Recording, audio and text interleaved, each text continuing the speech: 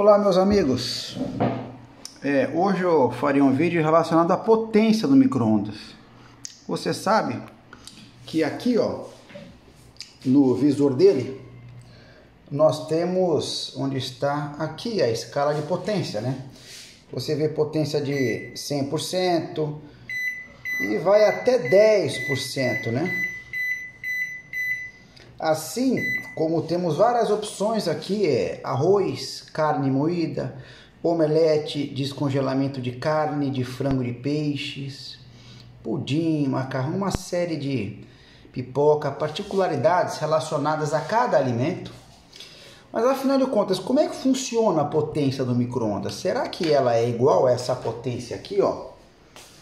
A potência do forno no qual eu escolho 160 graus, 200, 250, 280. Será que esse seletor de potência do forno a gás funciona de maneira semelhante ao seletor de potência do micro-ondas? Olha, o que você acha? Eu antigamente pensava que eles funcionavam da mesma forma, mas na verdade não, eles funcionam de maneira totalmente diferente. Aqui, o que que, o que que faz aquecer? É você jogar 220 volts no primário do transformador, que ele transforma aqui em seu secundário lá para os 2000 volts e tal, e vai a tensão vai aumentar no capacitor de iodo, vai chegar a 4000 no magnetron e aquece. Esquecendo toda essa parte para simplificar, sempre que bater 220 no primário, ele vai aquecer, tá?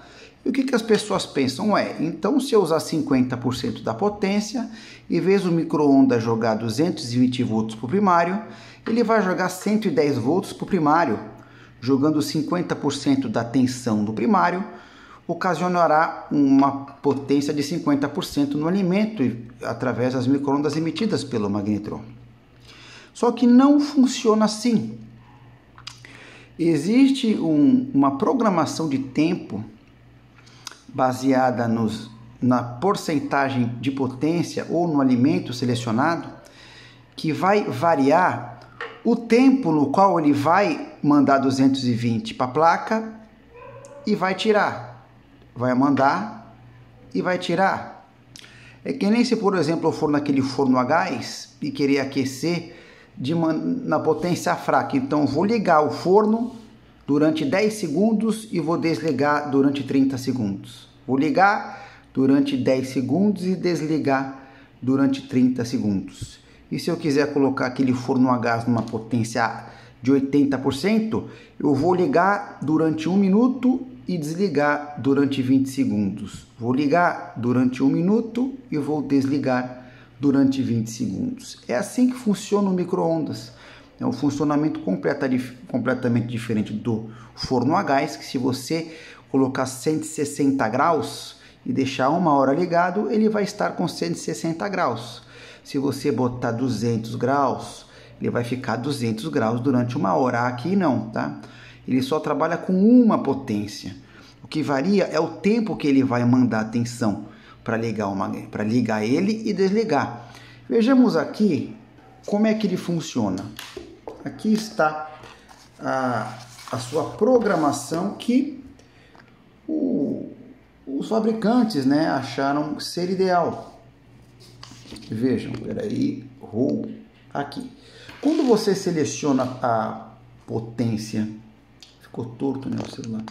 Quando você seleciona a potência de 10%, ele fica ligado durante 3 segundos e desligado durante 18. Liga 3, desliga 18. Liga 3, desliga 18. Se você programar para 10 minutos, durante 10 minutos você vai oscilar de ligado a desligado nesse período. Já em 30% de potência, ele fica 8 segundos ligado e 14 desligado. 50%, olha que interessante, ele fica metade do tempo ligado e metade desligado. E a 70% ele fica 16 segundos ligado e 6 segundos desligado. Vamos pôr aqui na potência de 30% para você eh, ver esse exemplo. Eu coloquei aqui na saída do relé de potência que está conectado ao transformador, eu conectei as duas pontas de prova do multímetro. na escala de continuidade de bip. E você ouvirá ele bipar na potência de 70 de 30%. Você verá que em média ele vai ficar ligado durante 8 segundos e desligado durante 14 segundos. Daí novamente liga durante 8 segundos e desliga durante 14 segundos para representar aí a potência de 30% do programador do, da placa eletrônica do micro-ondas. Você quer ver? Vou colocar aqui 30%. E vou ligar. Perceba. Está ligado, ficará ligado durante 8 segundos. Está pitando, desligou. Agora ficará desligado durante 14 segundos. Após ficar desligado durante 14 segundos, ele ligará novamente durante 8 segundos. Ficará 8 segundos ligado, ó, ligou de novo, vai ficar 8 segundos. E depois de 8 segundos ele vai desligar e ficará 14 segundos desligado.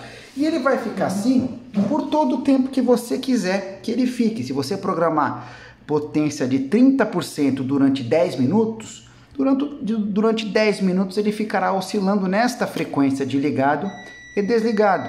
Se você for a 70%, meia hora, ele vai ficar meia hora, 16 segundos estando ligado e 6 segundos desligado.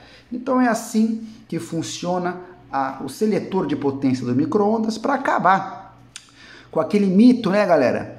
Que a pessoa acha que o magnetron é como o forno Deixa eu desligar esse, micro, esse multímetro que já deu, né? Ele, muitas desligar o micro-ondas também.